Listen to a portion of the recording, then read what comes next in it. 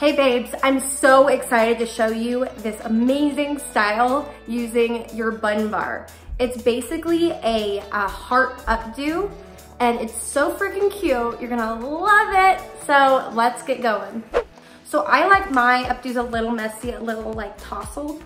So what I like to do is leave a couple pieces up front just to give it that like, you know, cute, fun look. Just like that. So gather the rest of your hair back. Um, just kind of, it doesn't matter how high you like it. I'm gonna go kind of low. So what you do is take your hair, take your bun bar, slide it back to your shortest layer. Now instead of rolling forward, you're going to roll in. So you roll in until you touch the head, then bend your two ends in towards each other and make them kiss curling them in like so, and then squash to make the point.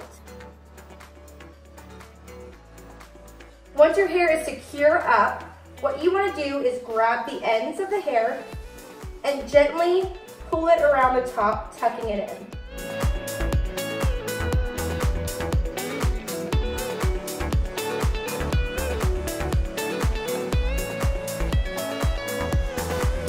Once you have your heart shape, you can even make it bigger.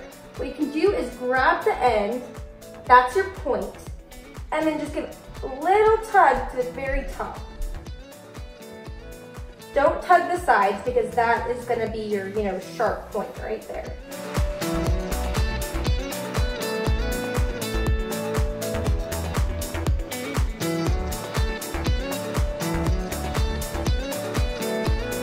So there you have it. It's a quick, easy updo you can do that's gonna blow people's minds.